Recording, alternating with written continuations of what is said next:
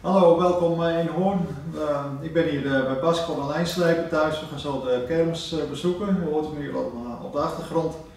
Ehm, Bas heeft een hele collectie pretparkboekjes uit vroege jaren. En, daar gaat hij nu zelf even wat over vertellen, voordat we naar de kermis gaan. Ja, ik vind het hartstikke leuk dat je bij me bent in mijn nieuwe huis. En ja, geweldig, ik woon nu aan de kermis. Ja. Dat is toch wat iedere kermisliefhebber zou willen iedere dag lekker naar de kermis, genieten wat er allemaal gebeurt hier. En uh, ja, bij mij is het zo, als ik uh, kermis heb, dan komt dat hele gevoel van pretpark weer naar boven. En dan komen mijn pretparkboeken, mijn videobanden en mijn laserdiscs van de pretparken weer en die ga ik weer bekijken. Uh, ja, het kriebelt. Nou, kijk Herman, en de kijkers ook. Ik heb hier een boekje voor de eerste keer dat ik in Fantasialand was, 20 jaar Fantasialand. 1987, toen werd ik 17. En ja, wat ik geweldig vind is die plattegronden erin, hoe het toen was. En zeker dit gebouw was toen net nieuw met een achtbaan erin. Space Center. Space Center, ja. Die namen ben ik allemaal een beetje vergeten, ja, wordt een dagje ouder. Maar zoveel grote attracties waren er toen die tijd nog niet. Dus hoe kon je daar dan een hele dag van maken met ja, al die klein, uh, kleine flatrides. Uh, gigantisch leuk park eerste keer naar Fantasieland geweest. En uiteindelijk, Fantasieland is mijn favoriete park in Europa. 20 jaar. Nou, ik heb volgens mij hier zelf nog eentje liggen met 40 jaar Fantasieland ben ik er geweest. 25 jaar. Oh, dit is Europa Park trouwens. Ik ook nog geweest. Ook een heel mooi park. Ja, ik ben, ben er gek op om die dingen te verzamelen. En hier, we hier in de buurt hebben we Sprookjes Wonderland, nou voor wat kleinere kinderen. Nou, ik heb Herman voorgesteld om een keer samen te gaan. Uh, het is eigenlijk een mini Efteling met kleine attractietjes, leuke sprookjes, maar erg leuk in elkaar gezet en een bijzonder verleden. Het leuke is dus die boekjes is bijna identiek aan hoe een Efteling uh, souvenirboekje eruit ziet. Echter, deze zijn maar een euro bij het park. Het is allemaal wat goedkoper, wat meer betaalbaar, gratis parkeren. Leuk parkje. Nou, het boek Disney, dat ik daar de eerste keer geweest ben. Nou, dat zijn echt, uh, dit zijn voor mij de herinneringen van de parken. Mooi plaatjes kijken. En wat ik nog een heleboel heb, zijn dus, uh, pak ze er even bij, videobanden van allerlei parken waar ik geweest ben. En dit is een bijzondere, en ik heb Herman beloofd dat we gaan kijken wat hierop staat. Dit is van Disney, dat het net geopend was. Een promotiefilm voor de Renault dealers door Philips. Uh, ja, daar moeten we een keer wat mee. Buiten dat, ik pak ook altijd mijn fotoboeken erbij. En hier zit ik met mijn oma in de Apollo, Apollo 14. 14. Met mijn oma. Die ging altijd mee op vakantie, dat we in Slagharen. Nou, het is toch geweldig. En volgens mij is dit de Efteling, wat ik begrepen had. Met mijn oma. En hier sta ik met mijn oma in de rij voor, uh, voor de Apollo. Apollo 14. Ja. En er is nog één hele leuke foto. Even kijken, nou, het boekje valt uit elkaar. Ik heb hier nog een foto uit 1971. De kermis in Hoorn, op dezelfde plek waar we straks komen. Waar de fotografen ook staan. Hier zit ik in de kinderwagen, 11 maanden oud. Eerste keer op de kermis. Ik vind het wel bijzonder als ik dan mijn ouders op de foto zie. Mijn vader is er niet meer. Maar hij had altijd een stropdas om. Dat was toen die tijd gewoon, uh, ja, je liet dus op die manier zien van, hé, hey, ik heb een redelijke baan. Stropdasje om en ga. Erg leuk om te zien. Ik als uh, elf maanden oud, uh, oud kindje daar. Ja, zo heb ik nog veel meer foto's en dingen. Uh, vol video mee filmen. Zeker weten. En, en ja, ik vind gewoon dat we hier wat mee moeten gaan doen. Dan leg je trouwens ook laserdiscs. En dat is de voorloper van DVD, ook over pretparken en achtbanen. Dit is eentje met een, een 3D-bril, zo'n groen met uh, rood brilletje moest je opzetten. Uh, over het een of ander Disneypark in Amerika. En hier heb ik nog een promotie laserdisc, dus een vrij hoge kwaliteit beeld van toen die tijd. Nou, ik, hoe noem je dit, een watercoaster? Uh, ja. Dus ja, dat zijn echt leuke dingen. Deze staat trouwens op mijn, uh, mijn uh, YouTube kanaal, heb ik hem uh, geplaatst. Ja, voor de rest zijn dit allemaal parken. Al die boekjes, honderden boekjes waar ik allemaal geweest ben in de loop der jaren. En eigenlijk ben ik in 87 begonnen met de, de te verzamelen daarvan. Dus het is een enorme collectie geworden. En ik kan hier gewoon van genieten. Orlando, Fantasialand, er, eh, dat er twee indoor achtbanen geopend werden. Kennedy Space Center. Ja, ik vind het ook een attractie op zich. Kernwasser Wonderland. Heerlijke patatkarder eten. hè? Lekker is dat daar, hè? met die Oh, paprika kruiden erop. Ja, hier ben ik toen in geweest. Die Drexels, die is uh, Oh, is ja. gesloten. Ja. Maar ook een Burger Zoo vind ik leuk. Ook omdat ik daar wat werk voor verricht heb. Ik heb dus eh, in de elektrotechniek gewerkt. En ik heb onder andere van de Ocean en de Desert... heb ik een deel van de elektrische installatie mogen aanleggen. Oh, ja.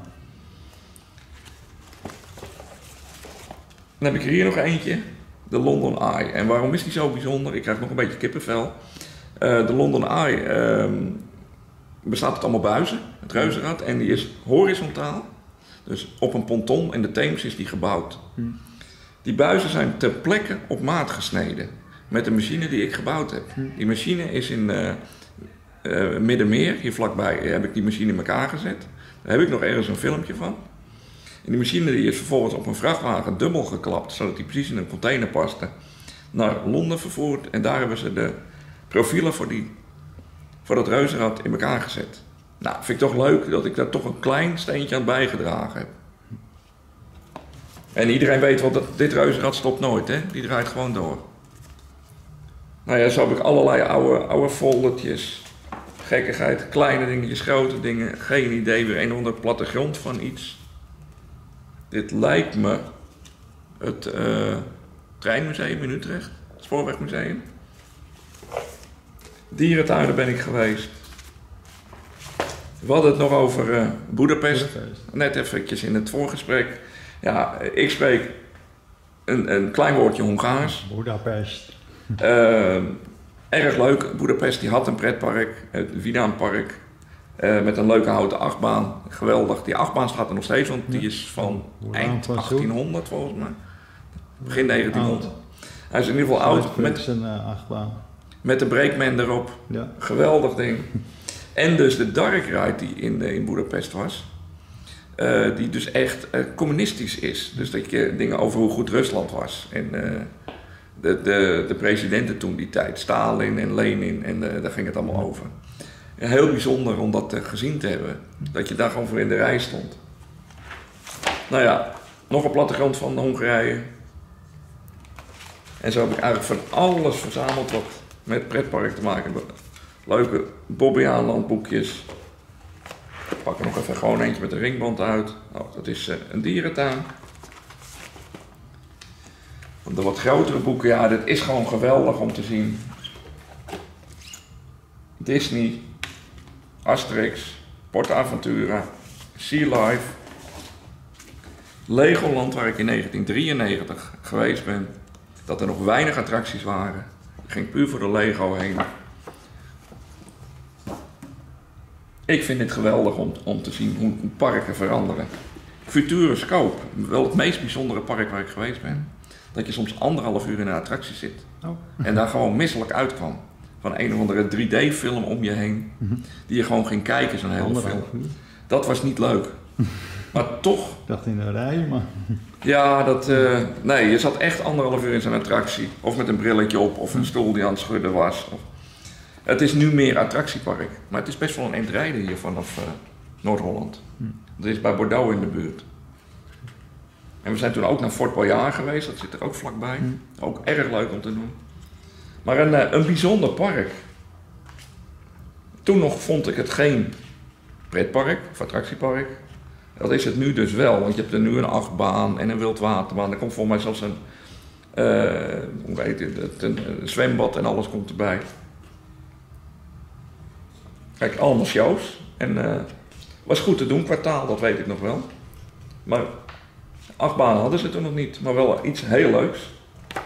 Heel veel kleine Duitse parkjes waar ik geweest ben. Ripley's, dus komt uit Amerika vandaan. Deze liet ik net zien, Rastiland. De kleinste achtbaan ter wereld schijnt dat te zijn. Die zijn dus door een aantal hobbyisten in elkaar gezet als een soort recordpoging van hoe snel kan je een achtbaan bouwen. Superleuk om te zien. Dus eh, ja, voor iemand die eh, een duizend of vijf à tien over heeft, dan uh, koop je een achtbaantje voor in je tuin. Erg leuk, die wildwaterbaan die daar te zien is. Dus die met een soort spiraal naar beneden gaat.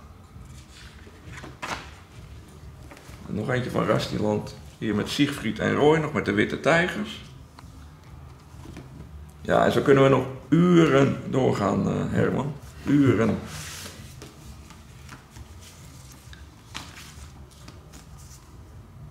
Dit is ook een bijzondere. Honeyball Park. Wat is van gehoord helemaal? Nee, die ken ik niet. In Tunesië. Oh. Het is heel bijzonder dat ik deze kaart meekreeg, want deze die, uh, die zat bij de kassa. En uh, Tunesië wil ik eigenlijk nooit meer naartoe op vakantie, want het was geen, geen leuk land. Maar een heel klein pretparkje en er stond een achtbaantje.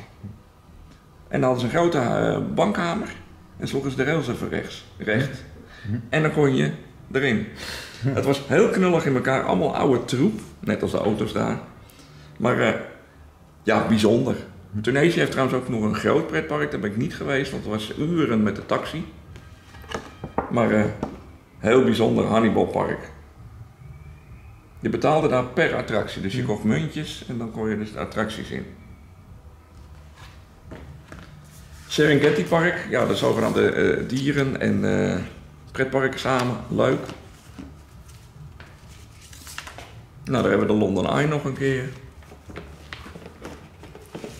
Nog eentje van Disney.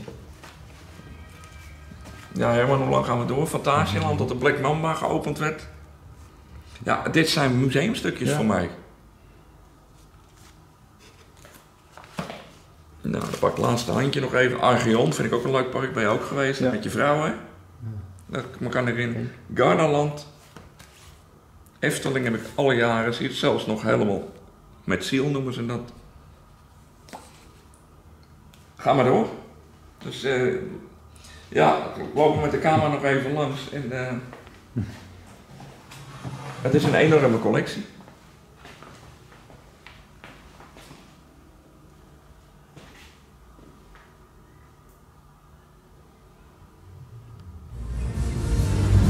Oké, we zijn nu uh, in het centrum van Hoorn en op de achtergrond zie je de kermiszaal. Um, ja, die, die laten we in het volgende deel zien, want uh, Bas heeft zo'n verhaal verteld over die boekjes. Daar maken we een aparte video van. Dus wil je ons verslag van de kermis van Hoorn niet missen, abonneer op dit kanaal. Voor, voor de video's van pretparken uit heden en verleden, zoals je net hebt gezien vanuit het verleden. Ik zeg tot ziens op de kermis van Hoorn. Hoi!